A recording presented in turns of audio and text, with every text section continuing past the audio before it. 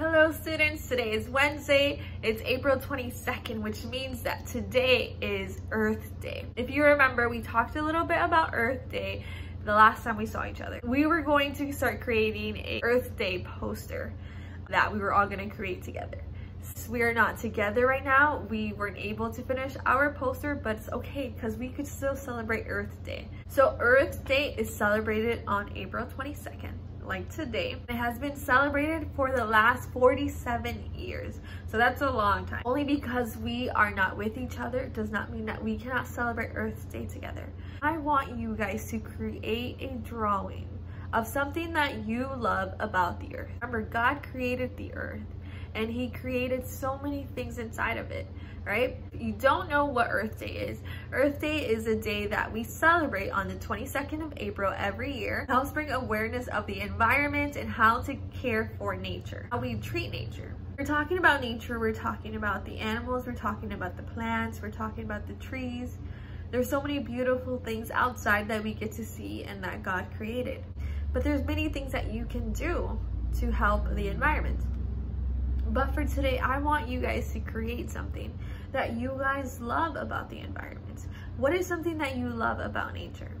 I know one of my one of my favorite things that I love about nature are the plants.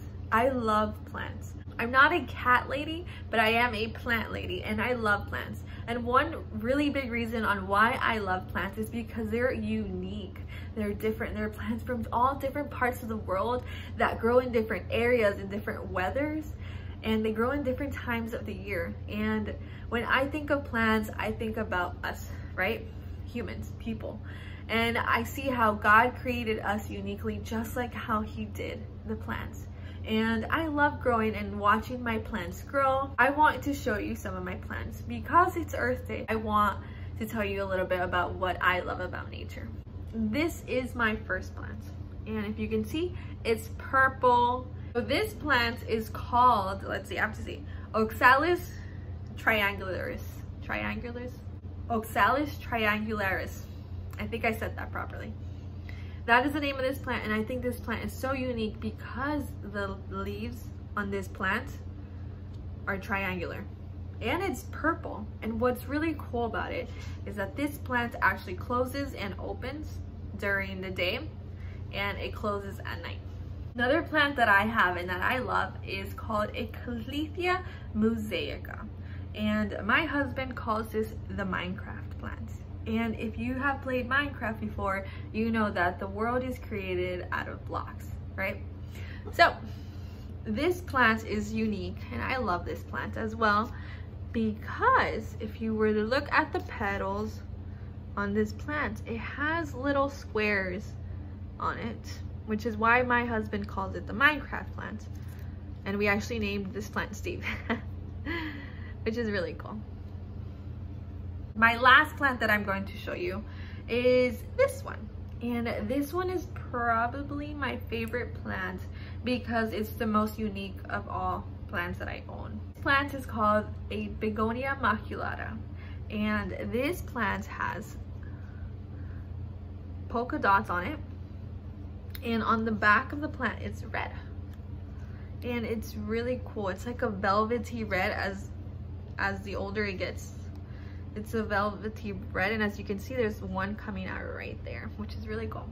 The reason why I showed you my plants was not just for me to just show you my plants, but I also wanted to share something that I love about nature because it's Earth Day. I wanted to share something that I love about nature. I'm going to grab a pencil, paper, and some coloring materials and I'm going to draw something that I love about nature. So since I did share about my plants, I'm going to be drawing one of my plants.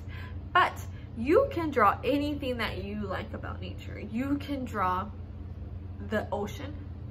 You can draw yourself at the beach.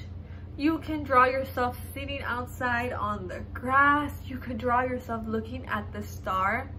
You can draw yourself going on the bike in a trail. There's so many things that you can draw. It could even be you sitting in your backyard. If you want something to draw and with parent permission, if you're able, you can go outside into your backyard or your front yard and kind of look around. Are there any flowers that you can see in front of your house or in your backyard that are blooming? Are there any cool trees that you can see? How does the sky look? What are the cloud shapes right now? You could do that as well. When you're drawing, you're drawing on what you love about nature. If you can, with parent permission, try to see if you could go outside and sit down outside while you're drawing your drawing, maybe on a chair or outside on a blanket and just kind of sit out in the grass or on your patio, something that you love about nature. And if you want to send me a picture and show it and share it with me, that would be awesome. And if you even want to record yourself telling me a little bit about what you like about nature, then that would be awesome as well. So let's get drawing.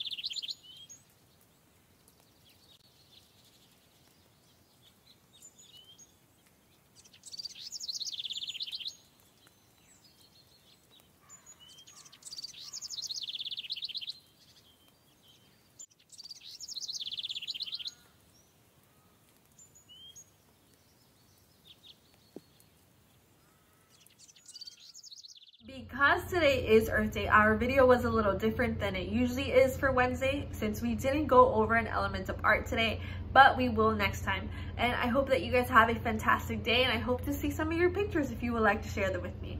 Have a happy Earth Day today. That is it for today. I hope that you guys have fantastic Earth Day today. I will see you tomorrow on, I will see you tomorrow Thursday. Bye.